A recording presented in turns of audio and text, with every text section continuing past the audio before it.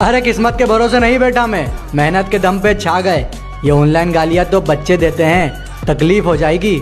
जो हम सामने आ गए।